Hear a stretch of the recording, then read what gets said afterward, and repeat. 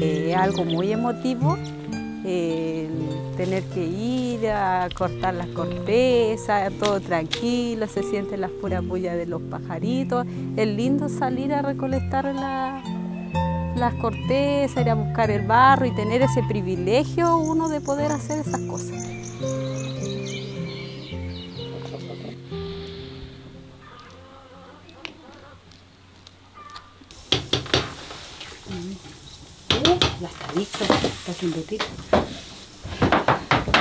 La mamá de mi mamá era legendera.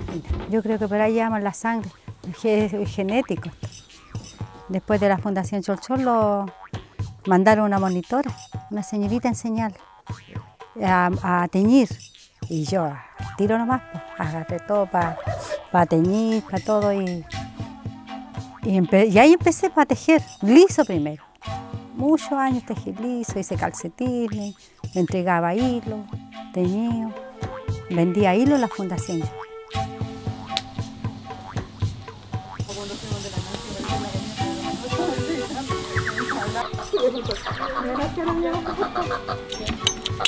Yo para comenzar a teñir voy a recolectar las cortezas del árbol, que es la cáscara, luego eh, voy a seleccionar el barro para teñir.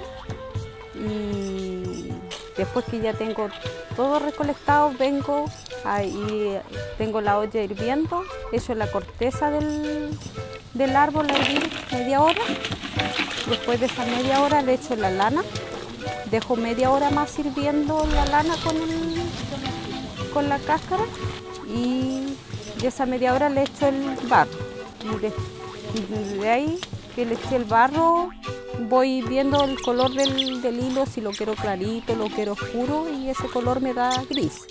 Entonces ahí veo yo si lo dejo más oscuro más claro.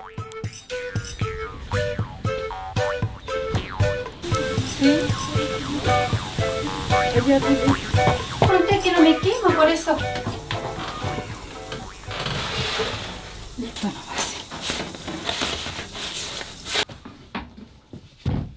todos los diseños tienen su, cantidad nomás de, de hilos para levantar y todo.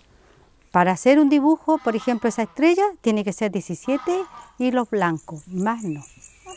Yo me admiro de las personas muy antiguas, las que empezaron primero, las que no sabían leer, filmar nada. No sé cómo lo harían para poder eh, que le quede bien.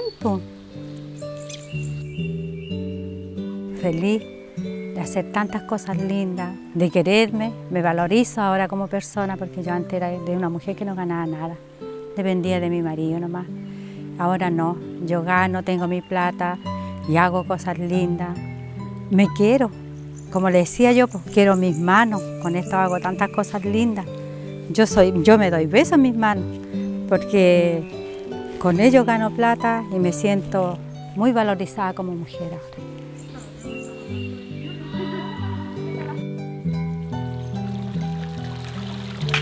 Eh, respetando los símbolos mapuches, irlos dejando, pero siempre irle haciendo algo innovador que llame la atención, porque a mí me encanta diseñar a mí diseños, cosas así, pero siempre ir dejando el símbolo mapuche. Siempre que hago un trabajo lo hago pensando que es para mí, porque según yo eh, me merezco lo mejor, entonces por lo tanto mi trabajo lo hago con mucho cariño pensando que es para mí. Eh, me encantaría enseñar que otra persona aprendiera de lo que yo hago.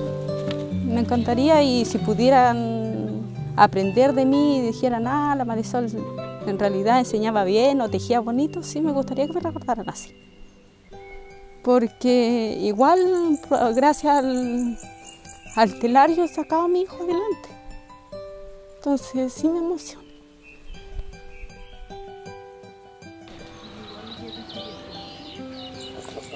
Gente joven ya no quiere, no le gusta trabajar, hacer otras cosas, está mucho el computador ahora. Así que yo eso aconsejo a la gente joven que sí, que, que hagan cursos, que traten de aprender porque es muy bonito. El otro día me preguntaban, ¿qué le diría a las personas que me compran mi trabajo? Que está toda mi energía buena, no hay malos pensamientos, porque yo cuando tejo estoy pensando cosas bonitas. Cuando estoy terminando mis tejidos, yo, yo hasta canto y bailo de alegría.